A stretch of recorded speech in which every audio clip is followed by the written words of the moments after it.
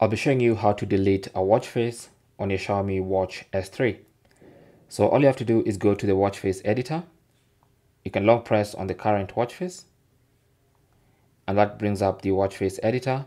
Alternatively, you can swipe up and then tap on the settings icon.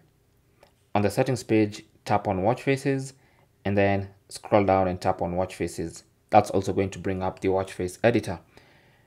So scroll and find the watch face you want to delete. So for instance, if I want to delete this one, all I need to do is swipe up and then you should see the option to delete and then you can now delete that particular watch face.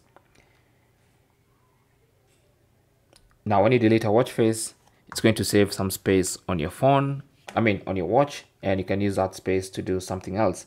So now that you've deleted, if you've deleted the current watch face you're using, then you might have to pick a new one to continue using your watch. You can also delete watch faces from the app.